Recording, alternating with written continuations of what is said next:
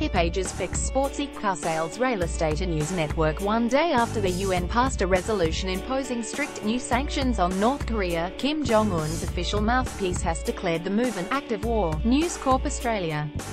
Network December 24, 20,173 to 47 p.m. North Korea has slammed the latest UN sanctions imposed on it over the isolated country's widely condemned intercontinental ballistic missile tests, describing the move as an act of war.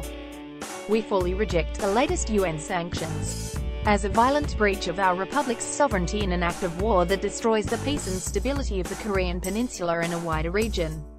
Pyongyang's foreign ministry said in a statement carried by the state-run KCNA news agency.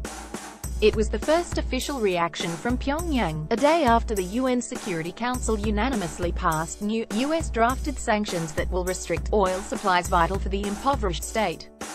The sanctions received the backing of Pyongyang's key ally China and also orders the repatriation of North Korean workers sent abroad to earn much-needed revenue for Kim Jong-un's regime.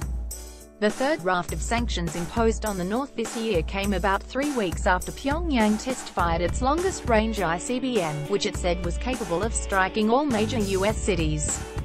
The test of HWASONG-15 further heightened global concerns over the rapid advance in the North's missile and nuclear weapon programs that has accelerated since Kim took power in 2011. The North says its weapons programs are designed for self-defense against hostile U.S. policies towards the isolated but nuclear-armed nation.